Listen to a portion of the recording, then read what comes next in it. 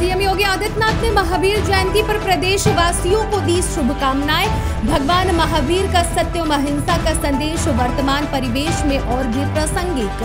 भगवान महावीर के बताए हुए मार्ग पर चलकर हम सब मानवता की सेवा कर सकते हैं। तो खबर बता रहे हैं, जहाँ पर महावीर जयंती के अवसर पर सीएम योगी आदित्यनाथ ने महावीर जयंती पर प्रदेशवासियों को दी शुभकामनाएँ। भगवान महावीर का सत्य एवं अहिंसा का संदेश, वर्तमान परिवेश और भी प्रासंगिक है। भगवान महावीर के बताए हुए मार्ग पर चलकर हम सब मानवता की सेवा कर सकते हैं।